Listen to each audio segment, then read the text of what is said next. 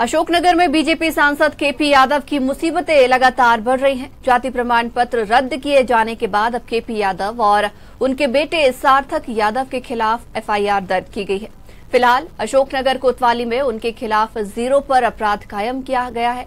आपको बता दें कि सांसद केपी यादव पर आरोप है। उन्होंने फर्जी दस्तावेजों के आधार पर जाति प्रमाण पत्र बनवाया था। मामले में जाँच के बाद मूंगावली एसडीएम ने केपी यादव और उनके बेटे का जाति प्रमाण पत्र रद्द कर दिया था।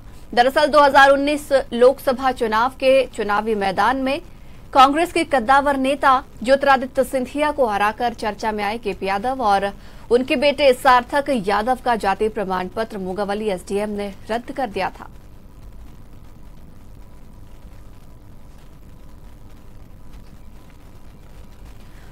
और वहीं इसी खबर पर हमारे साथ अधिक जानकारी के लिए संवाददाता योगेश गुप्ता जुड़े हुए हैं। योगे, योगेश केपी यादव और उनके बेटे पर एफआईआर दर्ज हुई है। अब लगातार देखा जाए तो उनकी मुश्किलें बढ़ रही हैं। क्या कुछ कहेंगे आप?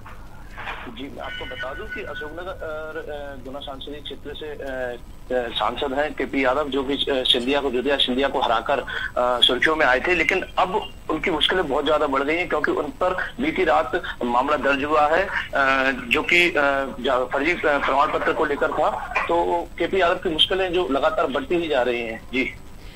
योगेश, जिस प्रकार से देखा जाए तो वो पहले कांग्रेस में थे उसके बाद उन्होंने बीजेपी को ज्वाइन किया। तो क्या माना जाए कांग्रेस उनसे बदला निकाल रही है किसी बात का?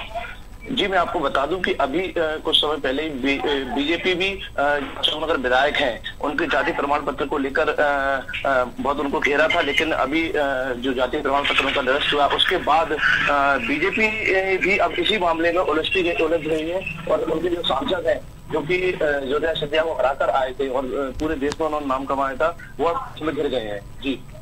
चलिए बहुत बहुत धन्यवाद तमाम जानकारी के लिए। तो केपी यादव पर एफआईआर दर्ज कर दी गई है। एसडीएम ने उनका जाति प्रमाण पत्र रद्द कर दिया है। गुना सांसद केपी यादव की लगातार यहाँ पर मुश्किलें बढ़ी हुई देखने को मिल रही हैं।